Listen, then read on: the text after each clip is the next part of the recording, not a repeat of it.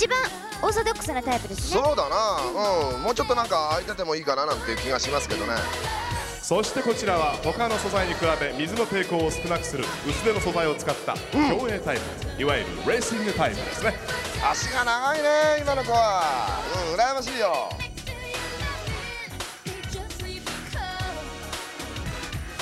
うーんいいですね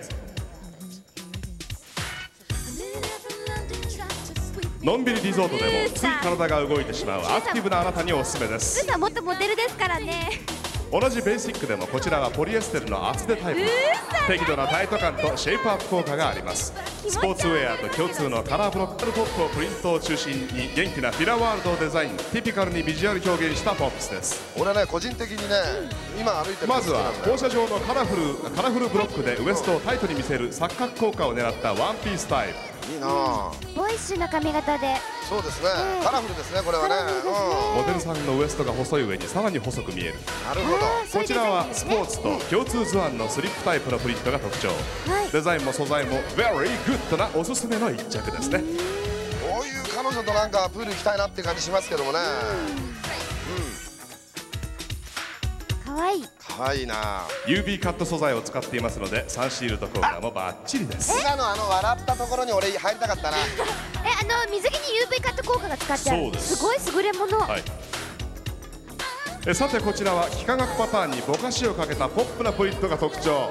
行動派をビーチで一層目立たせるおしゃれなタイプで分かっすた分かった。父さん父さん父さん。よ柔らかいですね父さん硬くする時とか大変なのかな？何なんだろうかね全く。あのおっさんが担いでいるものは。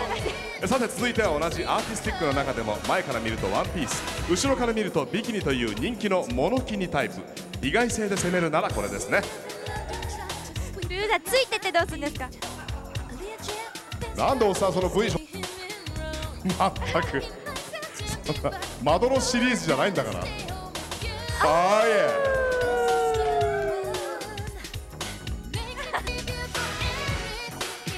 そしてこちらのラインナップ Very sexy ですね。まずはインポートベロア素材を使いシンプルなスタイルニングにまとめ上げました。脇のスリットがアクティブでアダルトな雰囲気を演出しますね。いいですねこのね脇のところね。ごめんなさい。うん。ただいま。はい。そしてこちらはインポートベロア素材にゴールド箔を乗せたゴージャスな大人の一着セクシーなサイドカットがポイントです。でもさやっぱり水着も昔と違ってえこんなにカラフルになりましたね。えそうですね。俺も今年の水最新水着ファッションショーでした。イエーイまあね深夜ならではのですね、迫力なんですけどもね、い。ちょっとふみえちゃんに聞きたいんだけど、はい。この5つのデザインなんだけど、ええ。ふみえちゃんだったらどれ着てみたいかななんて思う？そうですね、こういう風にこう、うん。胸の形うん。がよく出るものが今年出てるらしいんですよ、ええ。だからね私もこういうの、ふみえちゃんがこれきね来たらちょっとドキドキします。あなたはもうすごくいいんですけどね。はい。えもう男だったらもうつかみ OK っていう感じだよね。ー。はいあなたこれ着てて恥ずかしくない、うん。気持ちいいです。気持ちいいんだよ気持ちいい。ねだからさ灼熱の太陽でさそうそう。キラキラっていただけるなんかあこれがね奥さんに買いたいって言ってた。違う違う奥さん関係ないだろプライベートなこと言うな。やろ あのなこれ後ろちょっと見ていただきたい。はい。ね？あれ？